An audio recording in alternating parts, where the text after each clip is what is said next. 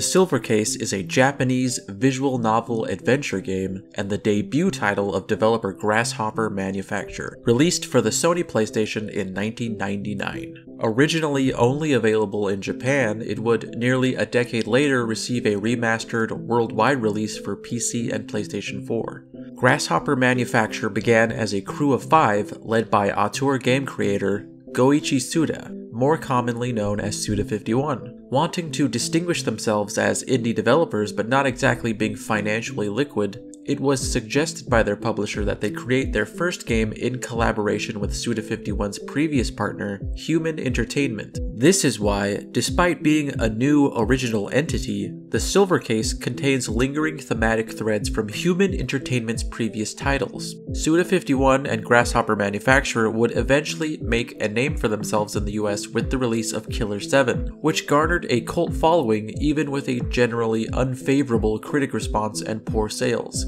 But for a long time, these games would not make it out of Japan. The reasoning was most likely over the daunting task of accurately translating the insurmountable bulk of text. But it was something Suda wanted to see happen. There was even a Western port to the Nintendo DS that was nearly complete, but had the plug pulled out of similar concerns. At some point around maybe 2015, an art book was released overseas that increased interest in the Silver Case. By now, Suda51 had many moderately successful titles in the US, and fans were eager to finally experience his seminal work. This led to the Silver Case Remaster, also called the Silver Case Fine. God damn it, I'll fucking translate. Not having played the Silver Case in 1999 or understood Japanese apart from the year of it I took in high school and thought I did, I can't speak for what the experience of playing the original is like and how it differs from the one I played. From what I understand, there are elements of gameplay that seem to hinge on your understanding of Japanese, and those parts were altered or rewritten to be localized to English. New story elements were also introduced to make the transition to its sequel feel less like an afterthought. And you know, I don't know if I'm qualified to talk about this game or breach its intimidating web of lore. It's not something I'm an expert on, and if I've learned anything from my research, there are very few who could say that they are. I'm also missing parts of this collective Sudaverse because some of these games never made it here, and probably won't ever make it here. Because uh, despite being an artistic medium, there is seemingly little interest in retro video game preservation, so I'll do my best to impart to you what I think this game is about while being hamstringed by Japan and its uh, scorched earth video game strategies. Uh, how may I help you? Fragmentation, How did you get this number? leaching, catabolism, humification, mineralization, I told you our business is done. The breakdown of detritus into smaller pieces, There's nothing here for you. Do you understand? seeping into the I'm gonna be okay, right? You talked to me for like five fucking years and now you don't have anything to say? What about you? We are in this together. I wish you were May. I want to, as best as I can, understand and find value and meaning in this game that I spent an infuriating amount of time getting through. I've been having trouble trying to generalize and condense what the story is down to a brief synopsis, so let's take this step by step because I, I am collecting my thoughts here. I am actively trying to make sense of it. So, the story featured in the Silver Case is broken up into seven chapters or cases. What I would have liked to have had explained to me is that these eight chapters make up about half of the game, because there are two interwoven storylines that you can either alternate between or do what I did and be completely oblivious to them until you think you finally made it through the game. But uh like life, it just it, it just doesn't it just doesn't end. I literally thought, "Oh, so that was it, huh?" Wait, why does it say 50%? Did I fuck up? Did I do something wrong? Why am I so stupid? I'm not going to let them play this game. So the two plot lines are mysteriously named transmitter and placebo. It's I, I don't know if I don't know if this is a thing, but but there is a, a real I don't know what to call it, it an overindulgence of uh, idiosyncratic titles and subtitles you'd think would make everything easier to follow. Uh, but it doesn't. All right. Beg- beginning transmitter case 0 colon lunatics We are briefed on the game's setting and some of the reoccurring characters. It takes place in a pseudo cyberpunk Japanese city called Ward 24. It's a city divided into five areas that are rampant with crime and economic disparity. There is a lot that goes over my head with the, the wealth of organization acronyms and what they're affiliated with and what splinter organization answers to what department of what alliance. I was barely keeping up with that, but as far as I understand, in this alternate history of Japan's Kanto region, its government was weakened in such a way that allowed for three non-profit organizations, the FSO, TRO, and CCO, to essentially vie for controlling interest in Ward 24 in a manner similar to a political party, but not. And I think after some alliances, part of these three groups would come to make up departments that to some shady degree governed the region. The way this bizarre government would police Ward 24 is through a network of divisions given the umbrella title Administrative Inspection Office. One of these divisions is the Heinous Crime Unit, which is a group of about five or so people, also split into two units, that investigate particularly violent crimes. Everyone in this group is sort of eccentric or unstable or just difficult to work with. Imagine just a bunch of brooding weirdos all acting on hunches and getting gut feelings, and the other divisions don't seem to think of them very highly and see them as more of a gang of loose cannons and less as real detectives. It's interesting because this choice is a very Suda 51 thing to do. He really enjoys making heroes out of apathetic layabouts. I don't know how well it works in this game, seeing as though it makes a real attempt, or at least the realest attempt he's made at being grounded in reality, which is something he is not known for for. So there's an odd juxtaposition with this kind of whimsical cast of characters and the sometimes believable situations they are put into. More so in the beginning, things get pretty wacky by the end. So, the first person we meet is Tetsugoro Kusabi, a member of the HCU, who is just driving home after presumably a long day of chain smoking and moody inner monologues.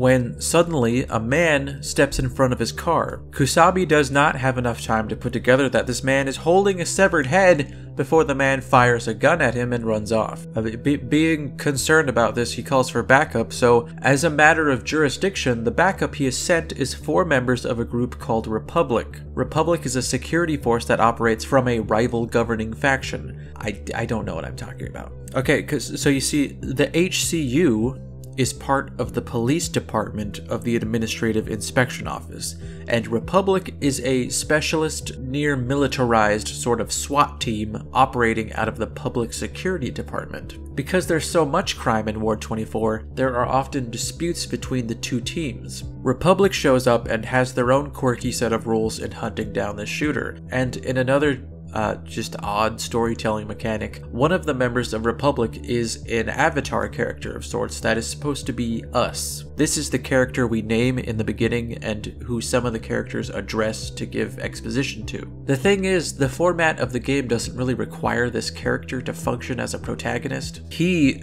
well, we, you could see me distancing myself from him already. That ain't me! It could be energy. He is not frequently important or impactful to the story. He seems like a mute observer to a story that's happening around him that he has little to no part in. Later materials about this series seem to refer to the game's protagonist as Akira, so that'll just make it easier for me. But back to the events. Republic and Kusabi manage to corral the suspect, who they discover is named Ryo Kazan, into a nearby satellite building called Cauliflower. Akira and the rest of the Republic team finds an unresponsive and strangely behaving survivor named Rumi that an injured team member looks after while Akira goes after Ryo. Uh, unable to pull the trigger because that would be employing agency in the story, Kusabi shows up and shoots Ryo. This causes an argument over the jurisdiction of the case that is interrupted by Rumi pulling a gun on the team, and perhaps the ghost of Ryo both Im- imploring that killing them will change nothing, and that they will be reborn with Kamui, the Holy Hunter. But she is gunned down by Republic, leaving Kusabi shaken by her ominous last words. While all these events certainly hint at greater machinations to come, what is not explained and potentially would never be explained because I'm not going to pay $14 for the DLC is that this whole chapter is a chain link connecting the end of a game called Moonlight Syndrome and the Silver Case. Moonlight Syndrome is the third game in a series that Human Entertainment produced and never brought overseas. It mostly follows a group of high school girls who investigate paranormal activity and urban legends. As I understand it, Moonlight Syndrome was the first game in the series to be entirely directed by Suda51 and ostensibly takes place in an alternate timeline of the Twilight Syndrome canon. In this timeline, a character named Rio makes a foolish pact with a white haired demon boy to rescue his sister, with whom he harbors an incestuous love for. Unfortunately, making this pact still manages to lead to his sister's death, and you know, not having a great night, he decides to run through the woods brandishing a gun and her severed head. I mean, what else? What else are you gonna do? I I get it. You gotta have something to remember about. For some people, that's a Polaroid. For others, it's this.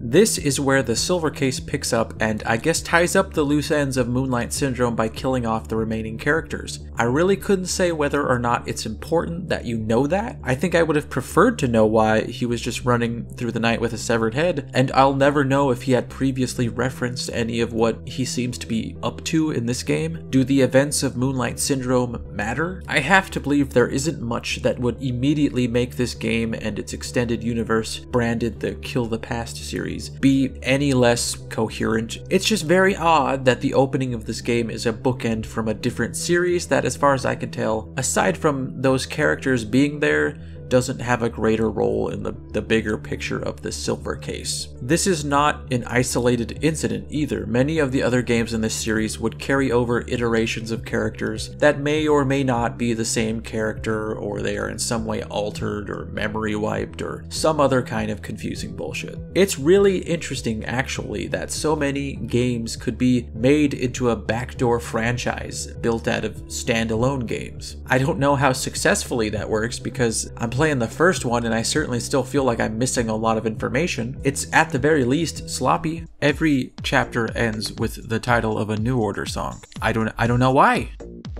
That's fun. So that's the end of Lunatics, which leads into Decoy Man. This chapter picks up on our characters two months later. Wait, uh, wait, wait. I, I guess I should have explained what the ending of Lunatics means. So the thing that this game is named after, the Silver Case, was something that happened 20 years before the encounter at Cauliflower and was brought about by the hunting down and imprisoning of a legendary serial killer named Kamui Uehara. This character and his identity and motives are never clearly expressed and details are often contradictory, but what is known is that he was some kind of hitman who killed a number of high ranking, important people and became catatonic after his capture, and for years was kept in a hospital. So it's awfully strange that 20 years later, these two murderers from a different game are name dropping him. So, two months after Lunatics, Kamui goes missing from his hospital room, and a string of murders are left in his wake. And for the rest of the game, you will be investigating the Silver Case and a number of other stories that may or may not be associated with the Silver Case. So, there are some issues I have with this game's story.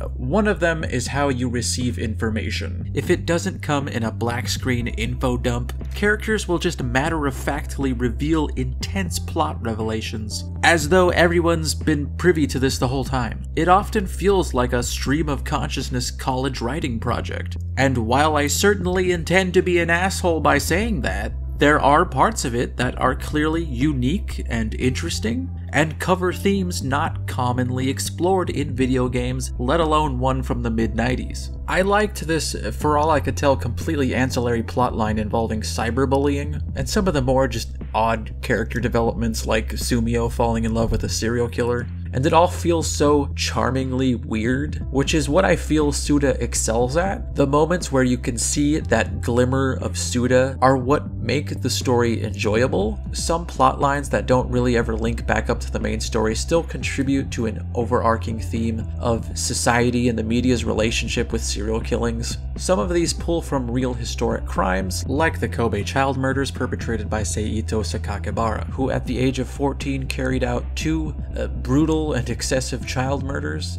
I, I, guess you could I guess you could say child murder in, in general is pretty excessive, but that's what I wrote down apparently. The ensuing media coverage would spark a great deal of panic and political posturing, as well as copycat murders. This is a concept that shows up throughout the Silver Case a, a lot. And it's something that is left ambiguous. At multiple points, characters will refer to a crime disease. I, I was never able to discern whether there was a real transmittable crime virus in this world and the characters are falling prey to it, or if it was just a phrase that members of the HCU throw around like some kind of statement on the, the imitation and hysteria that can be brought about by high profile crimes. I mean, the storyline is called Transmitter.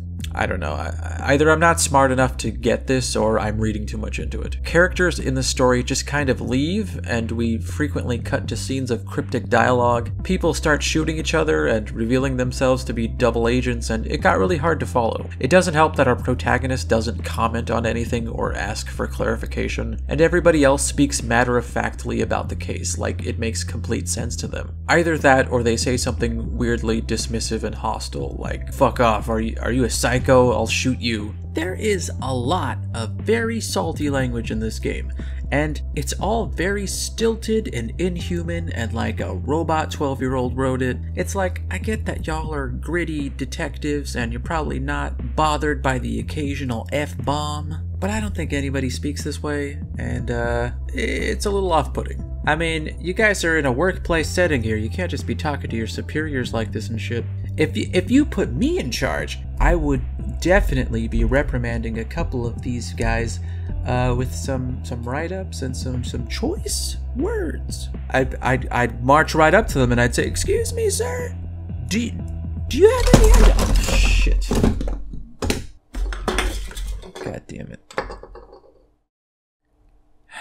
God damn it!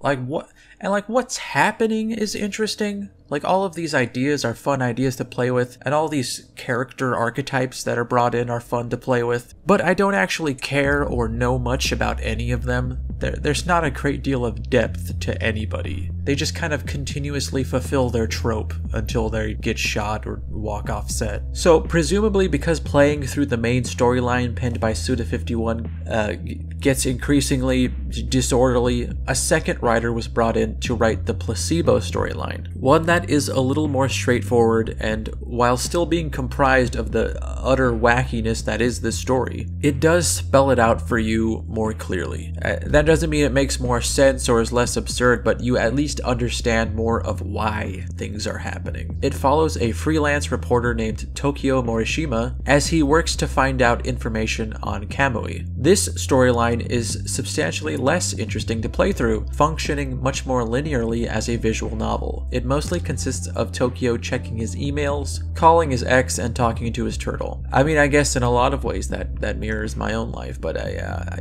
I don't have a turtle, so I, I, I, guess he's got the one up on me there. Fucking. Thankfully, I I don't know if that's the word. There are a handful of vitally important revelations that come about in these chapters. Ones that, were you to ignore, as I did, would render certain chapters of Transmitter nonsensical. It seems like a shitty move to me that they would have the real story be, be the interesting and complex one, and that's the one that's going to give you the most difficulty because it's going to have the most missing pieces. And then they're to give you this like really boring second story, but that one's to make the other one a complete story that to some degree makes sense. There are sparks of inventiveness in these chapters, like Tokio's awkward attempts at interacting with his ex girlfriend, the relationship he builds with this bartender, and his intense fixation on his turtle. It's quirky and endearing in a Twin Peaks sort of way, but getting to these moments is an exhausting slog of establishing shots, meaningless filler, Extremely painful, and it was scaring me. monotonous, repetitive conversations. It just keeps f***ing going. It is as endless as my devotion to you. Just call me back. I'm waiting. D- h- hello? I have new information. Oh, it's you. Well, go on. Have I interrupted something? No, I was just expecting a call from someone else. Oh, Yeah. who was it? It's, uh, it's a whole thing I don't want to bother you with. Okay, well, we don't just have to talk about that. I mean, if you wanted to, What? you could tell me about it. Really? You, you want to hear? Sure, it's clearly bothering you. Okay. So, it started when I met this person. Well, is this an old girlfriend? I mean, I, I, I thought. Oh shit, hang on, dude. I have another call. Uh, okay. Uh, I'll be here. He has hold music. That's neat. I'll just uh, put it right there. A good 80% of this game will function as a visual novel. So you'll be pressing spacebar a whole lot, just making your way through the staggering amount of text. If, if, if you want, you could spice things up by using enter instead, you know, go nuts. You won't come across any dialogue options or branching paths, save for one moment where you are initiated into the HCU by completing a timed 100 question quiz, where there are a few questions concerning the events of the game, but a lot of the questions, and there are 100 of them, uh, will pull from history, science, trivia, and pop culture references from 1998. It's a really odd moment, and made me think the game would turn out much more purposefully silly than it did. And you know, I don't really have an opinion on base visual novel gameplay. People seem to be all about it. Uh, just look on Steam, that, that, that there are so many. I bet only like a third of them are about fucking pigeons. It seems cool, not something I'd get uh, into a, a great deal, aside from ones that have caught my attention, like Policenauts. And, uh, well, no, that's the only other one I've played. I wouldn't disparage the genre for not having much interactivity, given that I am a noted walking simulator apologist. I'm just not learned or experienced enough with them. So I- I'm guessing, as far as visual novels go, like this is probably alright. Like this is probably how they work.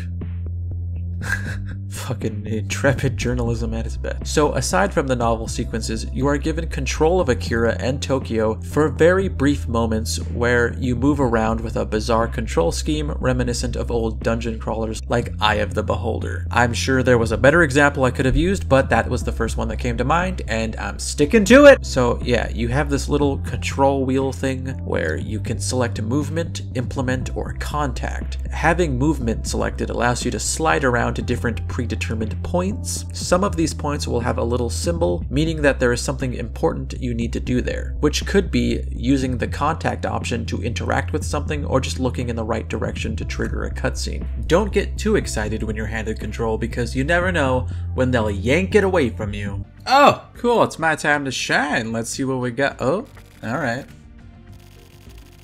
Okay. I get it. We're uh, we're, uh, we're we're looking for a lady. All right. Back in the saddle again. Let's do this. I can't wait to see. Well, oh, fuck.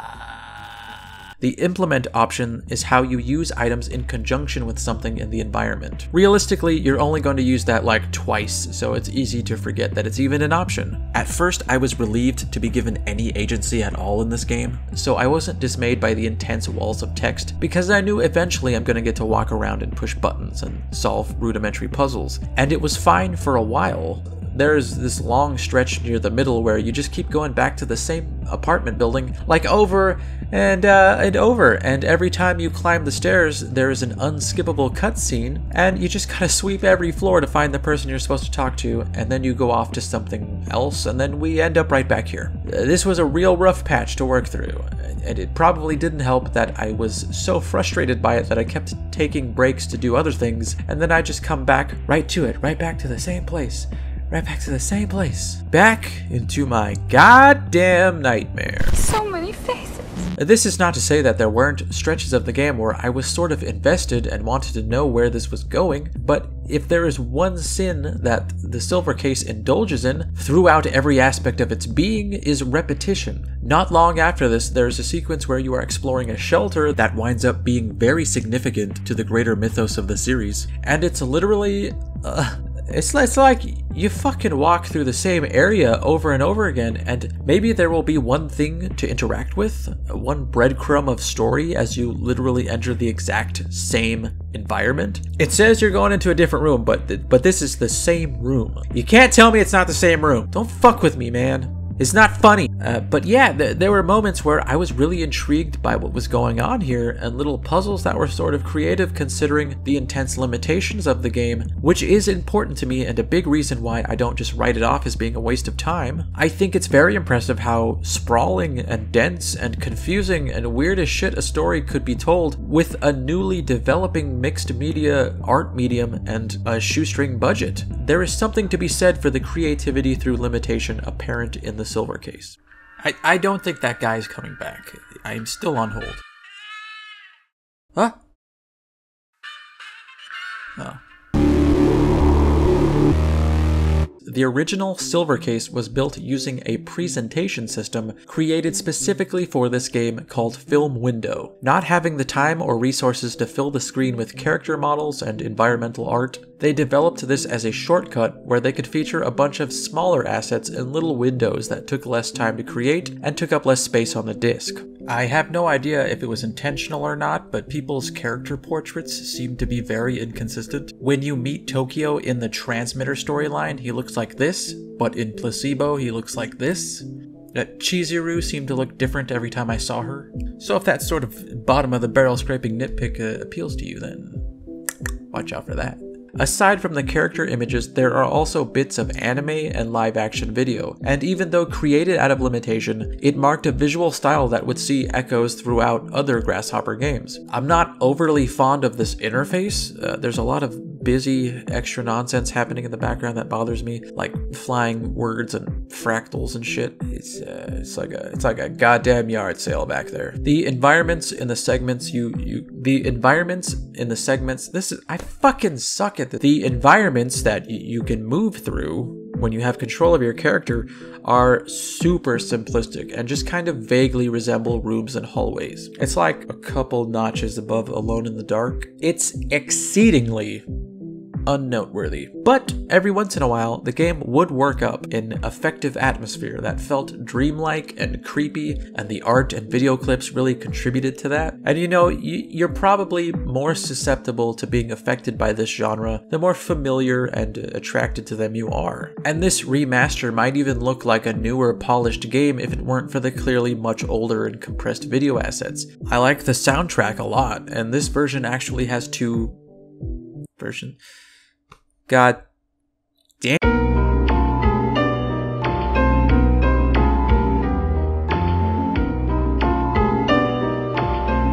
Remaster has two versions of the soundtrack. The original version is composed by Masafumi Takada, which alternated between eerie piano pieces and corny 90s unsolved mystery sort of tracks. It's very much a product of its time, but it's still really enjoyable. The second soundtrack features remixes of the original songs by Akira Yamaoka and Erika Ito. And these are all genuinely listenable outside the context of this game. I think they're great. Uh, Akira's tracks add elements of breakbeat and free jazz, while Erika's are a little more down tempo. Temple? Down tempo. while Erika's are a little more down tempo and house oriented, uh, with one standout exception that, uh, to begin with, was pretty fucking weird, so I'm sure she did what she could with it. Her tracks also feature a lot of this one particular formant synth. It's like a boop boop bop bop bop. It is super weird and off putting, but I eventually came around to it and now find it charmingly off putting. They certainly modernize and make great use out of the original compositions. So, to sum up, I like the mix of different materials that make up this game, and I don't mind that some of the assets are a little dated, if anything, that just makes it more charming. I could do with a less busy interface, but I mean, that would defeat the purpose of having everything in Windows, and I'd imagine it would be far more boring. I'm not the genius auteur game designer, of course. I'm just, uh. nothing. I wanted to cry out, but I couldn't. Um, but the music is super cool. I'm, I'm way about that. I'm a big fan of Akira Yamaoka, uh, both the stuff he makes for video games and the stuff he does on his own time. So, uh, glad to hear he's getting work. So, really, I, I have very little to criticize on an audio visual standpoint. Uh, there's one, uh, glaring me right in the face thing that should be addressed, I feel, uh, and that's this. You like that? You like when I do that too? Do you like when I submit you to this noise? Probably would like it, you fucking weirdo. Well, get ready to hear that a lot for the, the, the entirety of the, the whole time you're playing this game. You're going to hear that noise. Anytime there's text on the screen, you're going to hear that. Know what you're getting into. You're gonna hear that noise. You're gonna have to deal with it. I had to deal with it. You know, and you know, using a, a clickety clackety keyboard noise for text, I feel should be secluded to establishing shots of government buildings. You know, where it's like Washington, 8, 8 a.m. Uh, maybe not every single fucking word included in the game, but some of them surely. You know, so moving forward, uh, I would suggest you uh, not do that. Again, this is not my area, so I may have no right to say any of this. I'm trying to say I get it though. Like, I see the value and the, the reason why this game received a lot of praise. If I played this when it came out, this would be an entirely different story, I'd imagine. As it is now, I know this is dated. I shouldn't even know that because I have no historical reference for this genre, but even I can tell this is they probably do this better nowadays. I didn't have the most pleasant experience playing the Silver Case. The repetitive nature of the storytelling and gameplay becomes increasingly grating. There are serious issues with how the story is presented. Ignoring the fact that so much supplemental material is required, Suda's narrative is not coherently told and meanders around, not really deciding where it wants to go. I feel like it's tempting to attribute some of the clumsy writing to a stab at surrealism, and maybe that's the case for parts of the game, but not all of them. I see deliberate attempts to say something and include commentary on things, like depicting a group of corporate goons as warped caricatures. Eh, that's an odd touch, but I see that it is in service to something, but there are a lot of things that are just unfinished thoughts. The opening moments promise a lot with this feared and fabled serial killer being released and a team of jaded smartasses tasked with taking him down. That could have been compelling and fun, but that idea gets buried under several other stories until it becomes this formless mass of plot lines that keeps doubling down on abstract absurdity until everyone's a clone and they've all been interconnected and working against each other because of some sinister plot involving a corrupt corporation that raises children children in a bunker, and silver eyes that grant immortality. It's too many things at once. It doesn't just want to be a hard-boiled detective story, it wants to be dystopian, it wants to be half cyberpunk, it wants to be Blade Runner, it wants to be Seven, it wants to be Gattaca, it wants to be Pulp Fiction, it wants to be Bullet Ballet, it wants to be The Game, it wants to be Lost Highway, it wants to be Rainy Dog, it wants to be Sharkskin Man and Peach Hip Girl, it wants to be Pokemon the first movie, it wants to be Tommy, it wants to be A Bug's Life, it wants to be Mulan. At some point, I just started naming movies and I don't really know when that started. It wants to be Videodrome. It wants to be Rush Hour. And to be fair, the guy's got taste. That's where I feel I have a real connection to this game and where I have difficulty being so critical of it, uh, aside from not having a spine, of course. From what I've played of this guy's work, I think he's really interesting. I think he's really inventive and creative, and he's got some fun ideas. It's enjoyable seeing where all of that started, but it's still a little premature. This was the first time this guy got to make a game from the ground up and he wanted to do everything at once. There are moments that shine, some of it worked, a lot of it didn't, but this was the raw creativity just fermenting in this guy who had to spend most of his time working on other people's games. It's something I myself, in a far less impressive and interesting way, struggle with in my own creations. I want to filter everything I appreciate in culture through my own prism, and hopefully in a way that winds up being meaningful or stimulating. Even while being underwhelmed by the storytelling and gameplay, I appreciate what the Silver Case is, how unique it is, and I am glad I was able to experience it. It truly provided a diverse assortment of reactions in me. Chief among them was confusion, and I appreciate that that because I still want to know what's going on in this series, and it's still fucking frustrating that I can't confidently say I know. If this was just a truly awful experience, I don't think I'd care, but I do, and it's difficult for me to admit when I care about things. Caring about things leads to vulnerability, and then I leave myself open to all sorts of hardships. Are you still there? Hello. Hey, what's up? Uh, hi. You, you left me on hold. About that? What? I don't think it's working out anymore. W- what isn't? This. What is this? Exactly. Why does this hurt?